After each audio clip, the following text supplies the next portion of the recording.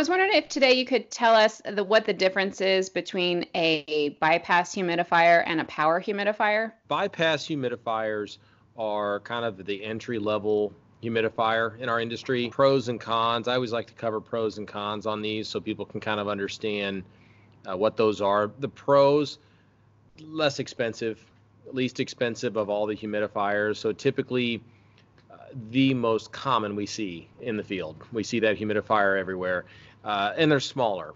In, physical size, they're smaller, and a lot of times we're working in tight spaces in basements, and there's just not a not a lot of space, usable space. So that a lot of times ends up being one of the only humidifiers we really can use.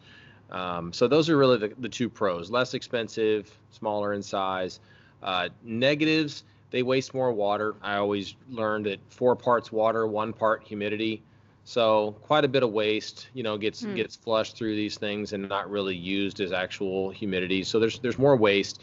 Um, they're dependent on the blower in your heating system. So they can't put humidity into the air on their own. They need the heating system to be operating at the same time to actually blow the air across the water panel inside of it. So they're dependent on the heating operation. So or at least fan movement. They need the blower. And then they're just limited on limited on capacity. In our area, um, and I'm sure it's the same in a lot of other areas, anything over in the 2,500 square foot range, depending on how tight the home is, how loose the home is, it's going to struggle. It's going to struggle. It's going to run a lot. It's going to have a hard time keeping up. Uh, it will help. It, it, will put moisture in the house, but will it ever reach, you know, 40% humidity if the homeowner were to want it? It's it's it could struggle depending on the size of the home. It does a good job of putting out humidity in the whole house. It's just that it doesn't really work unless the furnace is on. Right. Right. Okay. Okay, so then what does a how is a power humidifier different than a bypass? So a power humidifier can work independently. It does not require uh, the blower to be running. So therefore, it's in it's able to humidify when the bypass humidifier might not be able to. Uh, its its output is about a gallon more per day of humidity, which may not sound like much, but I have seen it firsthand be the solution for folks where the bypass was just struggling to keep up. We put in a power and it actually did the trick and they were very, very, very happy with it. But it's got its own fan. So a power humidifier has its own little fan built into it that blows and pulls air across that water panel and and allows the humidity the humidity and the water to evaporate off of that water panel and put it straight into the airstream and does not require the blower to be running at the same time. So those are really the pros Mm-hmm. The negatives, it's big. The, the physical size of the humidifier is sometimes really, really tough. Um, ideally, they want that humidifier to go on what we call the supply duct, which is the ductwork right above the furnace.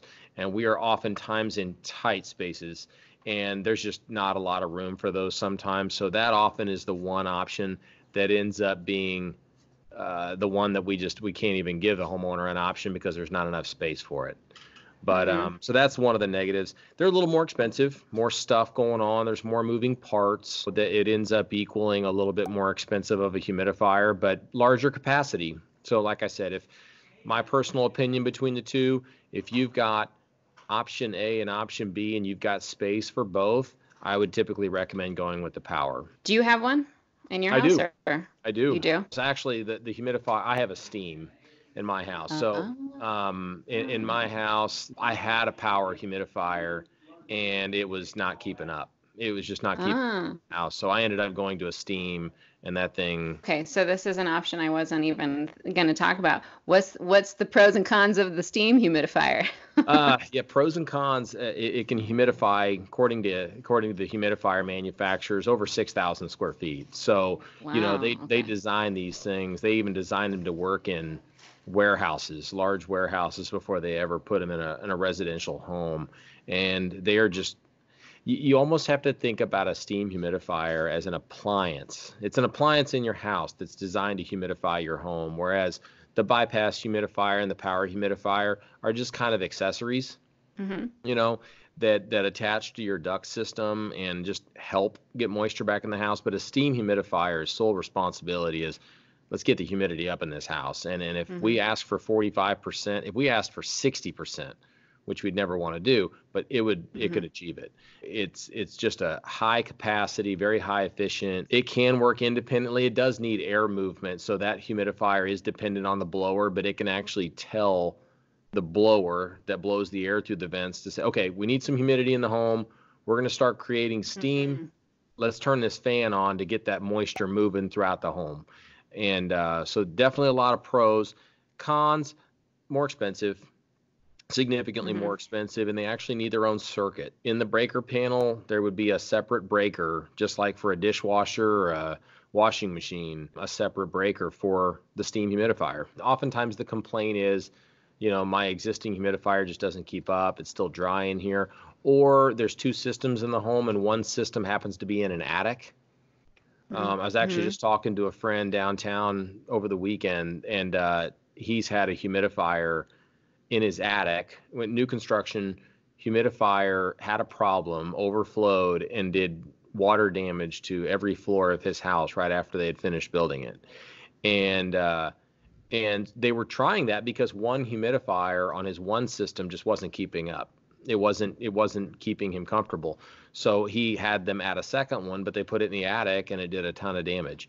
So for for us, and I even told him that I said, yeah, get yourself a, a steam on the one system where you can, and it can humidify this whole place with ease you know Mm. and so yeah if you're if you're in the really 3000 square feet you know homes and then you add the basement in some cases you got 4000 square feet and anything bigger than those it's it's tough for power and bypass humidifiers we refer to as evaporative pad humidifiers because there's a water panel inside of it Mhm. humidifiers like that are just going to struggle to keep up so Mhm. steam steam is really a much better fit for those larger homes Do you do you place a steam humidifier on the ductwork like the other ones or?